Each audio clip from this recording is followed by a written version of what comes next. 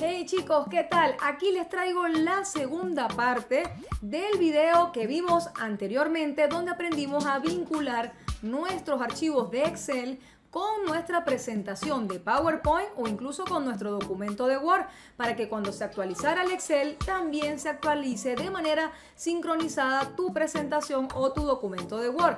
Ahora bien, ¿qué vamos a aprender en esta segunda parte?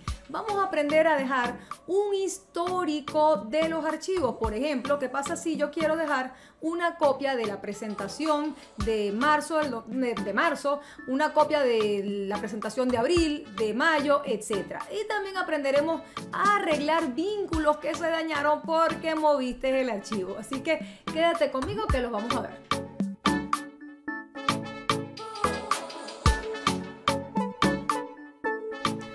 Chicos, vamos a empezar. Recuerden que esta es la continuación de un primer video que está justo antes de este, donde enseño desde cero a cómo vincular tu archivo de Excel con tu presentación de PowerPoint o con tu documento de Word. Así que te dejo el link aquí arriba o en la descripción del video si aún no lo has visto.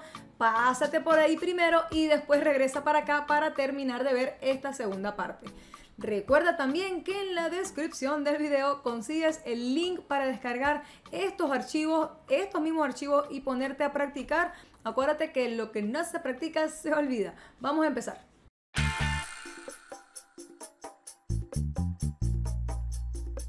Muy bien chicos, ¿cómo entonces podemos em, hacer un registro histórico de, por ejemplo, si vinculamos nuestro Excel con nuestro PowerPoint? ¿Cómo podemos dejar una copia de todas las presentaciones que hacemos? Por ejemplo, si esta presentación es mensual, ¿cómo dejar una copia de eh, marzo 2021, abril 2021, mayo 2021 y así? ¿Cómo dejar ese registro? O sea, para que esos PowerPoint, esas presentaciones ya no tengan vínculo con nuestro Excel y solo muestre el valor de lo que en ese momento se presentó. Vamos a ello, miren. Vamos a ir a archivo y vamos a guardar una copia de esta plantilla. Archivo, guardar como, eh, guardar como, examinar. Repito, estamos simplemente haciendo una copia. Y bueno, le colocamos otro nombre. Ah, bueno, esto se va a llamar avance marzo 2021. O sea, es la presentación que se hizo en marzo. Guardar lo que estamos es guardando una copia. Lo ideal es que ustedes mantengan una presentación que sea avance de proyecto, punto, sin mes, y esa sea la que tenga los vínculos. Ahora bien, vamos a ver algo antes de, explicarles cómo pueden romper los vínculos. Vamos a intentar algo. Aquí dice 102%, está en verde, ¿verdad? Que es este señor. Vamos a cambiarlo, 3 millones, ahora es 70%.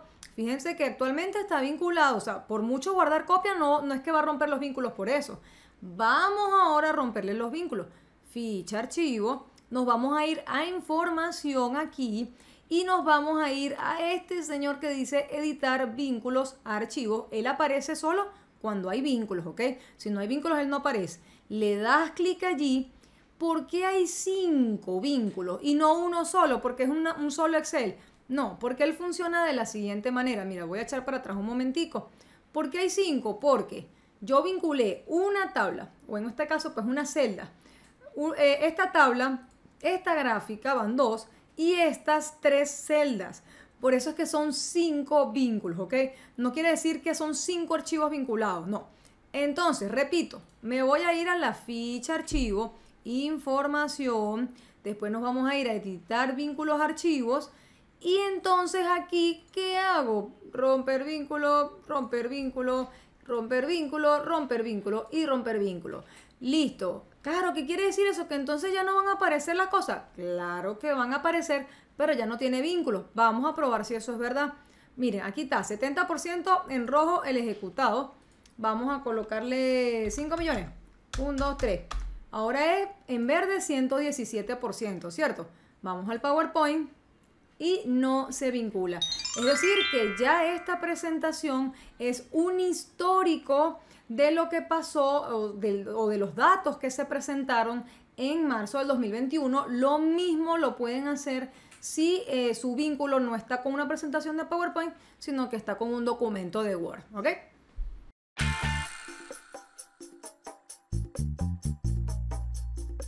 Muy bien chicos, ahora quiero que vean este, cómo arreglar el vínculo cuando por error moviste uno de los archivos y entonces, claro, se pierde el vínculo, porque acuérdense que como les comenté en el video anterior, el vínculo es una dirección. Si tú cambias de dirección del archivo, ella pues no lo va a conseguir.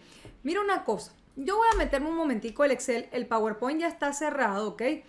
Y voy a propósito a cambiar algunos numeritos, ¿ok? Vamos a, por ejemplo, decir lo mismo, esto es 3.500.000 para que cambie ahora a 82% rojo, ¿ok?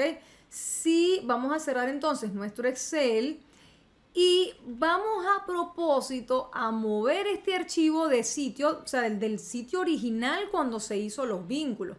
Voy a agarrar y lo voy a pasar para otra carpeta que está ahí, ¿no?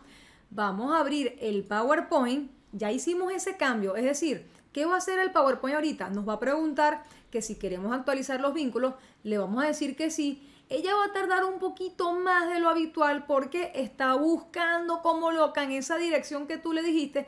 Mira, busca en la carpeta escritorio, en la carpeta proyecto y el archivo se llama tal. Y no lo está consiguiendo. Entonces, vamos a esperar un ratico que ya va a aparecer el mensaje que dice no conseguimos los vínculos y entonces vamos a ver cómo tenemos que arreglarlo. Ok, entonces chicos, fíjense el mensaje que les está enviando, que les va a enviar cuando no consiga el vínculo. Lo sentimos, no encontramos los archivos vinculados.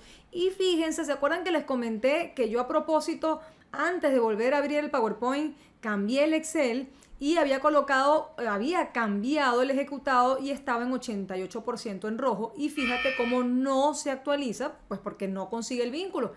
¿Cómo arreglar eso? Porque Aquí hay dos opciones. O simplemente vuelves a colocar el archivo donde está, o sea, sacarlo de ahí y ponerlo donde estaba originalmente.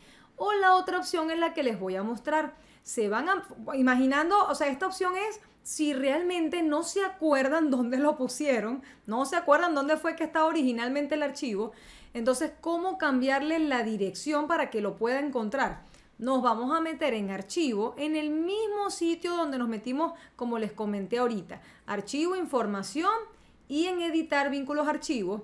Entonces, fíjate que aquí todavía está la ubicación anterior, pero le pueden dar aquí en cambiar fuente, tienen que hacerlo para cada uno, le dan a cambiar fuente y lo que hacen pues es buscar dónde está nuevamente, dónde está el archivo nuevo.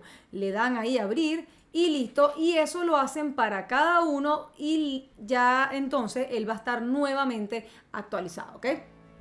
Entonces, bueno chicos, espero que les haya gustado esta segunda parte de cómo guardar un histórico y cómo arreglar vínculos. En el caso que hayamos movido un archivo y ya no nos acordemos de dónde fue que lo colocamos originalmente. Así que espero que te haya gustado, suscríbete a mi canal si aún no lo has hecho, tenemos muchas cosas que aprender, darle a la campanita, no se te olvide y darle en todas para que realmente te pueda llegar las notificaciones de mis videos. Así que espero nuevamente que te haya gustado y nos vemos en otro video. Chao, chao.